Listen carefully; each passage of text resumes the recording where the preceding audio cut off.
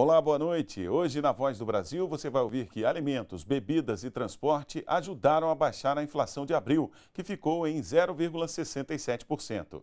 O aumento de 10% no Bolsa Família começa a ser pago no próximo mês. E ainda, a partir de agora, bebês nascidos na rede pública que precisarem de reanimação vão contar com médicos e enfermeiros treinados para pronto atendimento. Estas e outras notícias daqui a pouco, às 7 da noite, na Voz do Brasil, em todas as emissoras de rádio do país. Até lá!